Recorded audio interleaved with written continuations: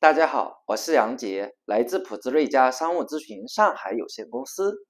今天我们讨论企业所得税。企业所得税收入的确认原则是什么？根据《中国企业所得税税法实施条例》第九条规定，企业应纳税所得额的计算以权责发生制为原则，属于当期的收入和费用，不论款项是否收付，均作为当期的收入和费用；不属于当期的收入和费用，即使款项已经在当期收付，均不作为当期的收入和费用。除企业所得税税法及实施条例另有规定外，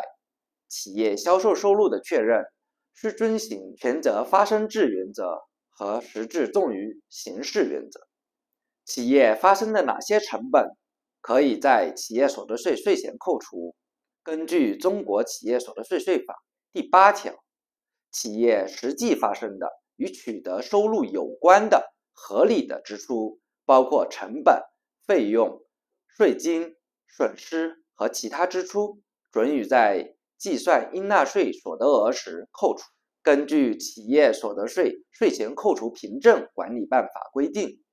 税前扣除凭证在管理中遵循真实性、合法性、关联性原则。真实性是指税前扣除凭证反映的经济业务真实，且支出已经实际发生。合法性是指税前扣除凭证的形式来源符合国家法律法规等相关规定；关联性是指税前扣除凭证与其反映的支出相关联且有证明力。居民企业应该在何时进行年度汇算清缴？居民企业年所得税应纳税人应当自纳税年度终了之日起五个月内进行汇算清缴。结清应缴应退企业所得税税款。纳税人在年度中间发生解散、破产、撤销等终止生产经营情形，需进行企业所得税清算的，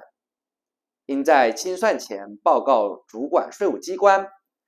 并自实际经营终止之日起六十天内进行汇算清缴，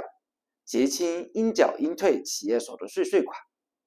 纳税人有其他情形依法终止纳税义务的，应当自停止生产经营之日起六十天内，向主管税务机关办理当期企业所得税汇算清缴。纳税人因不可抗力不能在汇算清缴期间办理企业所得税年度纳税申报或备齐企业所得税年度纳税申报资料的，应按照税收征管法。及其实施细则的规定，申请办理延期纳税申报。